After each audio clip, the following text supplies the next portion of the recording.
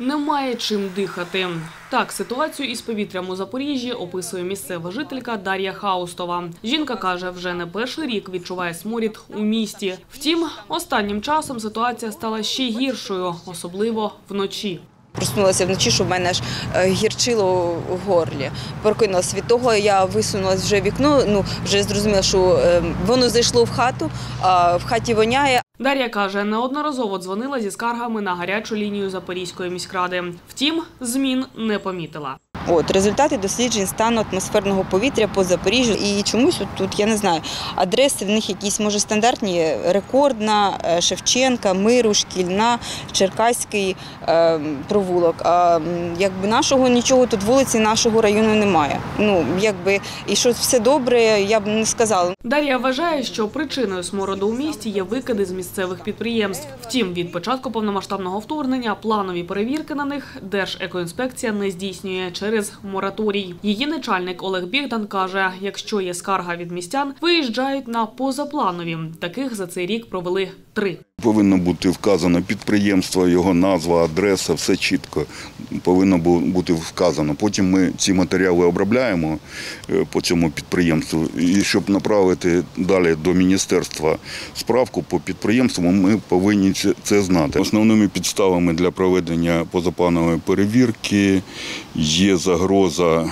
е, здоров'ю та життю людини. Якщо це обґрунтовано е, в скарзі громадянина, то ми направляємо.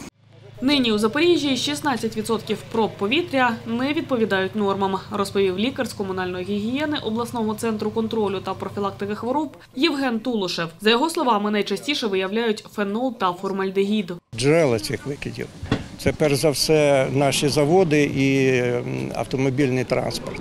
І, як не дивно, відключення електроенергії. Оці генератори, які встановлені через кожні 10 метрів по всьому місту, вони додають досить велику кількість забруднюючих речовин. Один генератор викидає більше у 100 разів, ніж звичайний автомобіль.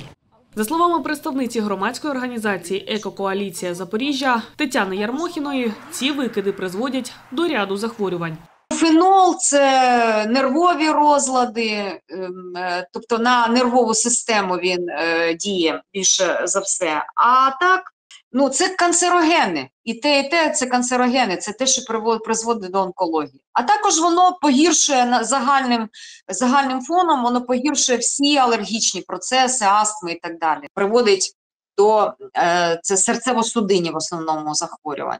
Тетяна Ярмохіна каже, на замовлення міської ради цьогоріч інститут громадського здоров'я Марзієва розробив програму поетапного зниження викидів. Втім, за словами активістки, фенол та формальдегід в неї так і не внесли. І, попри незгоду громадськості та прохання її доопрацювати, програма вже перебуває на стадії затвердження. Карина Галунова, Геннадій Корчененко, Андрій Варіонов. Суспільне новини. Запоріжжя.